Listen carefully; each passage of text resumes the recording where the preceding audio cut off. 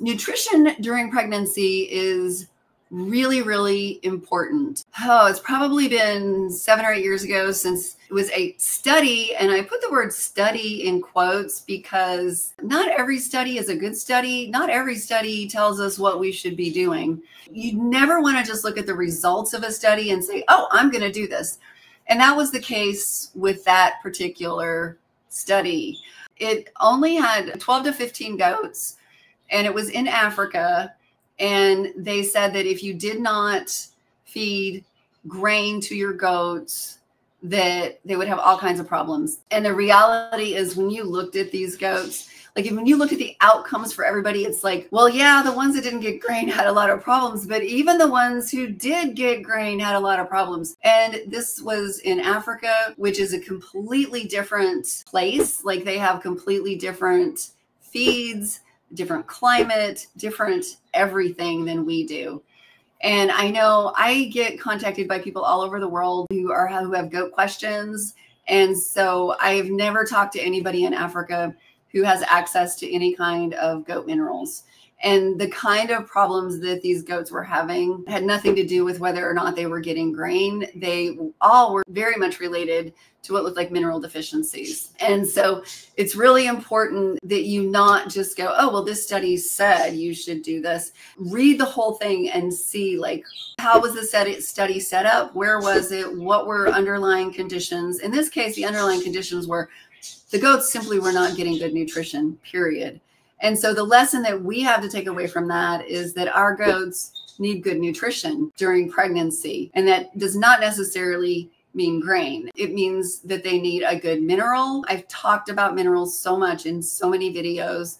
You know, you want your goats to have, for a mineral that's got around 15 to 20% salt, you want that mineral to have around 1700 ppm copper, and you want it to have about 50 ppm selenium and the amount of zinc that, that it has should be about four times as much copper because copper and zinc are mutually antagonistic. So too much of either one can cause deficiency in the other one. So copper and zinc always need to be in balance. There's quite a few minerals out there that just don't have enough zinc in them. And all three of these, these are the most common minerals that goats in the United States and Canada become deficient in. So those are the ones why it's really important to make sure that you have a good mixed mineral loose goat mineral that is available free choice 365 days a year for your goats. More feed is not better. If you overfeed a goat and she doesn't need it, the extra calories and protein and calcium are going to go to the babies and grow bigger babies. The other thing is that an obese doe is more at risk for toxemia because if she has a lot of internal fat,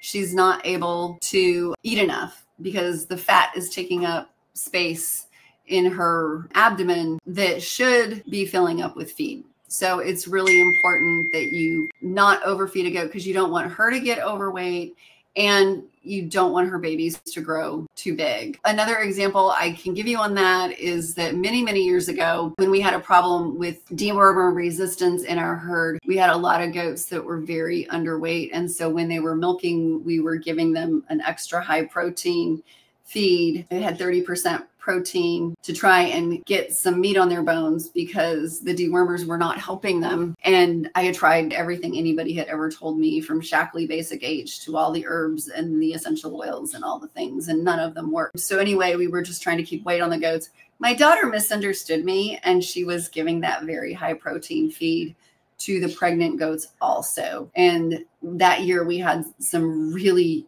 really huge kids until I realized what she was doing and told her to stop. So, overfeeding goats is definitely not good.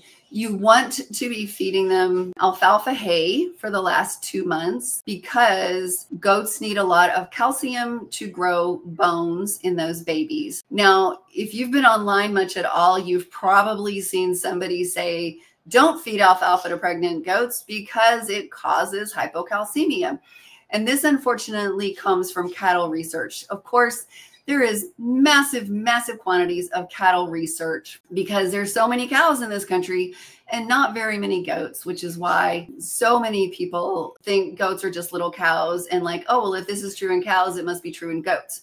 However, one of the really big differences between goats and cows is hypocalcemia. So a cow almost always has a single.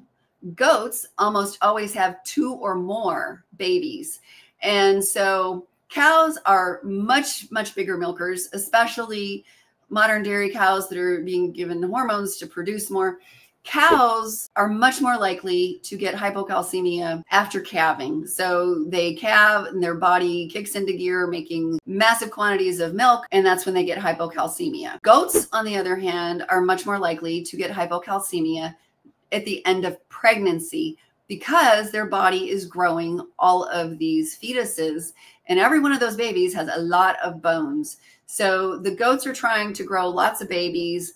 And if they don't have enough calcium, they wind up with hypocalcemia at the end of pregnancy. And toxemia can frequently be right behind that because toxemia happens when there's not enough protein. Alfalfa is fabulous because it gives your goats lots of protein and lots of calcium. So if you are giving them 100% alfalfa, as long as they're in good body condition and everything, they should do okay without an added goat feed. However, if you can't find 100% alfalfa and you're feeding like just a partial alfalfa, then that's not enough protein. So you would at that point add a small amount of the 16% protein goat feed to increase the protein. However, there's not much calcium at all in goat feed. So they really need a legume for that. If you're in a part of the country that doesn't necessarily have a lot of alfalfa, like in the southeastern United States, they have peanut hay. They also have Sericea lespedeza. Both of those are legumes that are high in calcium and protein. So if you've got access to those hays, that's awesome. You can feed those instead